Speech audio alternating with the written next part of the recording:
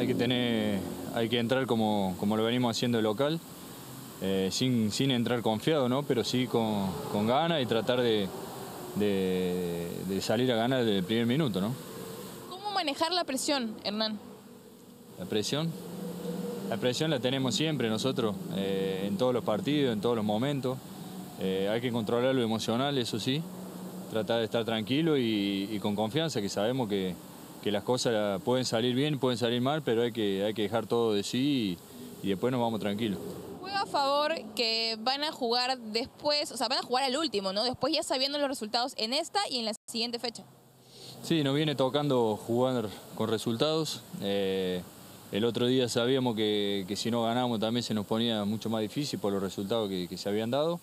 Eh, y lo sacamos bien, lo sacamos adelante, así que estamos contentos, estamos bien, estamos felices, pero faltan tres finales que, que las tenemos que jugar con total responsabilidad. ¿Es jugar a favor o en contra jugar el final?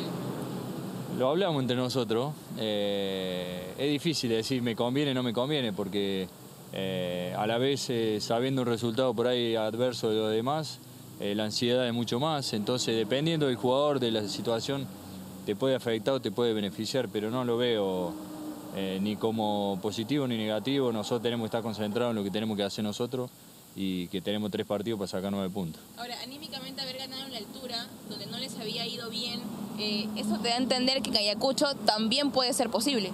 Nosotros tenemos nueve puntos para ganar, eh, para jugar y para ganar. No, no, no tenemos más chance de nada. Eh, depende de nosotros ganar esos tres partidos y después esperar algún resultado negativo de los demás.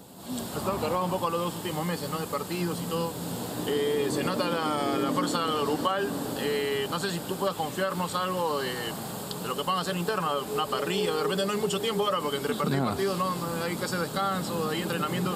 Pero alguna actividad que haga que, que el grupo esté más fuerte que nunca. Se ven las fotos, sí, pero alguna actividad adicional que por ahí se pueda dar a conocer, obviamente sabemos que el grupo es privado, ¿no? No, eh, el grupo está, está muy bien, está convencido, sabe lo que, lo que cada uno tiene que hacer.